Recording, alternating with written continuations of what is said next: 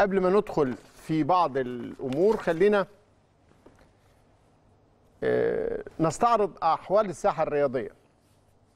يمكن سرت إشاعة خلال الساعات اللي فاتت إنه مجلس إدارة أو اللجنة الثلاثية في اتحاد الكرة استقالت ومن ثم في فراغ. طبعا هو الفراغ وجد لما رابطة الأندية أخذت ملف الدوري واطلعت بيه فبالتالي أصبح مبنى الجبلايه في هذا التوقيت ما هواش بؤرة الأحداث ما هواش نقطة الجدل اللي كانت مثارة على الأقل لغاية السنة اللي فاتت. لازم يطلع لك خبر يشد الانتباه. فيطلع حاجة الحق استقالة أحمد مجاهد استقالة أحمد حسام عوض استقالة لا بس محمد آه، الشواربي يعني أعتقد إن استقالة أحمد حسام عوض كان من يومين ومحدش نفاها طيب الحقيقة فين؟ أستاذ أحمد حسام عوض استقال فعلا. والجديد إن في مجهودات بتبذل معاه إنه يعدل على الاستقالة. طب مش حق الرأي العام يا أستاذ إبراهيم. واحد إنه من يطلع تلاتة. يقول أنا استقلت واحد ليه؟ من ثلاثة بيديروا كرة القدم. آه، آه، أما يقدم استقالته من حق الرأي العام أين دور الإعلام هنا؟ محدش حاول يفهم هو استقال ليه. عشان لما يتراجع عن الاستقالة نعرف هو إيه اللي خلاه يتراجع عن الاستقالة. هل كانت حاجة داخلية ولا قضية عامة؟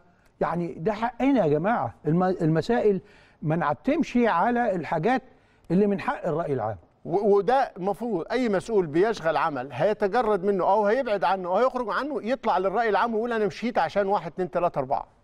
لأنه ما كانش شغال في صمت تخصه. يقول آه لأسباب يقول لاسباب تخصني. بس. آه لكن فعلا آه، آه، تجاهل الرأي العام وحقه في إنه يعرف تفاصيل دي مسألة مش لطيفة بالمرة.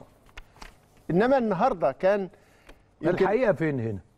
الحقيقة النهارده المهندس أحمد مجاهد والأستاذ محمد الشواربي عملوا اجتماع مع مسؤولي الفيفا عبر خاصية زوم النهارده؟ النهارده. يبقى استقالوا فين فمبدئيا أحمد مجاهد ما استقالش الشواربي ما استقالش وأحمد مجاهد مش هيستقيل حسب تأكيده ولا هيمشي قبل 5 يناير ولا يمدد له بعد 5 يناير ولن يترشح للانتخابات. يعني خدوا كل اللي ديت. لا هيستقيل قبل 5 يناير لن يستمر بعد 5 يناير لن يترشح لانتخابات اتحاد الكرة اللي جاية. نفسه ولا مش من حقه. هو هو كموجود على رأس اللجنة الثلاثية مش من حقه إنه يترشح. بس من حقه يستقيل وما يشرفش على الانتخابات ويترشح. لكن ده كمان مش هيحصل. مش هيحصل. حسب تأكيداته. آه. فمبدئيا المهندس أحمد مجاهد والأستاذ محمد الشواربي وقد يعود إليهم الأستاذ أحمد حسام عوض أو يستمر في الاستقالة هيفضلوا موجودين لغاية إجراء الانتخابات. طب إمتى الانتخابات؟ ده سؤال كمان مهم قوي الاتحاد الدولي كان رفض فكرة التعديلات اللي لائحة اللي الأندية طلبتها. أنت عارف مجموعة الأستاذ محمد الطويلة والمجموعة كانوا أقرت بعض التعديلات وبعتوها للاتحاد الدولي. الاتحاد الدولي رفضها. ورجعنا اعملوا انتخابات على لائحة الأستاذ عمرو الجنايني. اللي ما كانتش اعتمدت ولا حد عرف عنها حاجة. لا هي اعتمدت للغرابة من الفيفا ولم تعتمد من الجهات الداخلية. الجهات الداخلية.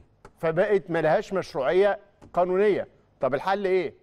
النهارده في اجتماع الزومنج اللي كان بين أحمد مجاهد والشواربي من ناحية ومسؤولي الفيفا من ناحية تانية في جهود كتيرة بتبذل للتوافق على هذه التعديلات. يعني حاول مجاهد يقنع المسؤول الاتحاد الدولي على بعض البنود اللي الأندية طلباها بما يسمح بإجراء هذه التعديلات حتى يتم إجراء الانتخابات. وعد مسؤول الاتحاد الدولي إن هم هيردوا في أسرع وقت فلو ردوا في خلال الساعات القليلة القادمة بالموافقة على بعض التعديلات اللي طلبتها الأندية المصرية سيتم تحديد موعد الدعوة أنت عارف لو وافقوا للجمعية على العمومية. التعديلات دي معناها إيه؟ آه.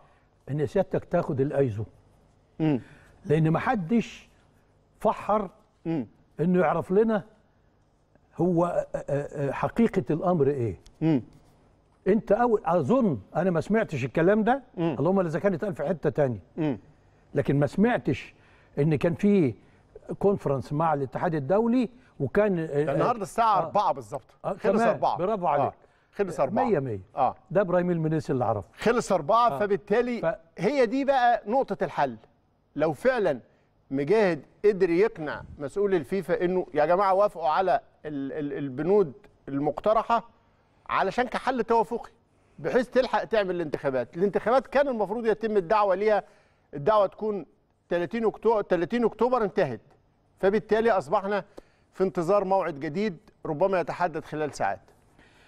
أرجو إن آه، يعني آه، نسمع خبر في هذا الموضوع لأن آه، آه، أنت أنا عارف أنت جبت الخبر منين. فلا يمكن التشكيك فيه.